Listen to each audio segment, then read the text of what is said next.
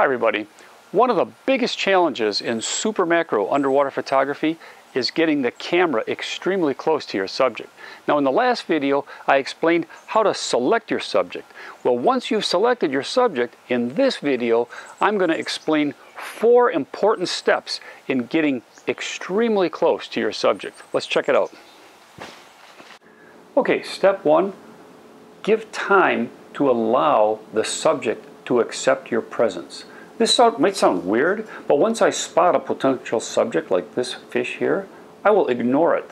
I will look elsewhere and take some test shots of an adjacent rock or coral. This does two things. One, it lets me review my LCD information and make any adjustments that are necessary in aperture or strobe power, etc. And two, it allows the subject to get used to my presence and my strobe going off. Also, very important, I try to never look the subject in the eye. Hopefully the subject will get used to me and my strobe and might even become bored with my presence. And at some point, I begin my approach, my approach, which leads to step two, approach very slowly.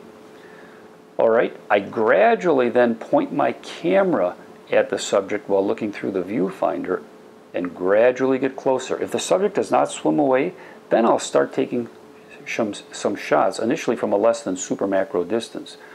That way, at least if the subject leaves, I'll at least have one or two images of the subject. But at this time, the subject is also getting used to my strobe and my ever closer presence. Now, when I do this, I watch my bubbles and I exhale very slowly and I make no sudden movements. Here's the little fish after it allowed a closer approach, and here it is when I got right up to it.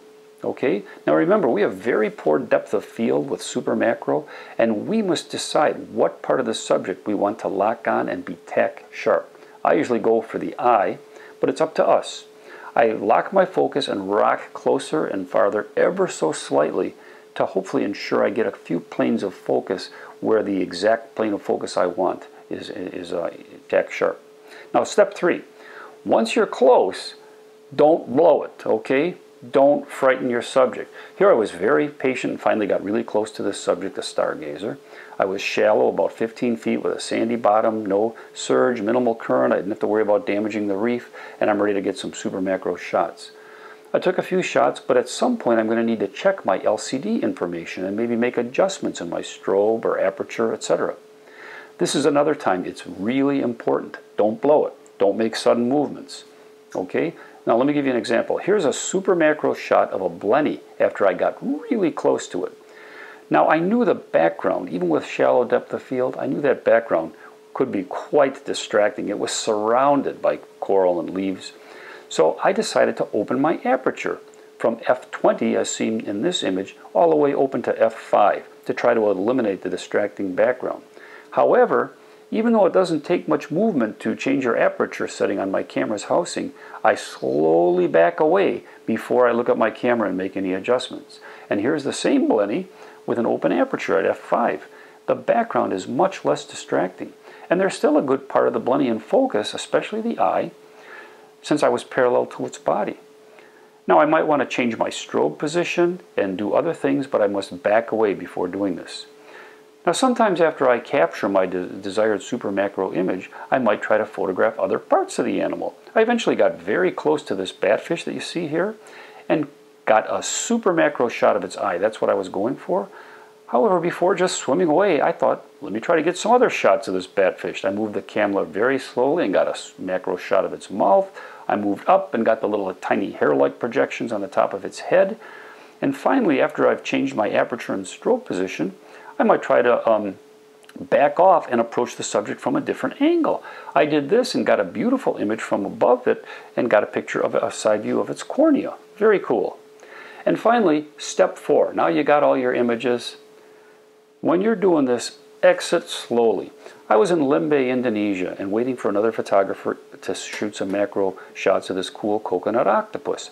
I patiently set up my compact camera for a close focus wide angle shot of the octopus in the foreground and my dive buddy in the background. I was very patient, but unfortunately, when the previous photographer finished his macro shots, he strongly pushed himself off the seafloor with one hand and created a huge plume of severe backscatter, seen here, even 40 to 50 seconds after um, afterward. And I took one shot and left. The shot's not usable, way too much backscatter. I, I, I have neither the time nor the skill to eliminate all this backscatter. So when you're done, don't forget all your manners and then scare the subject and stir up backscatter. well, I hope you found this video helpful.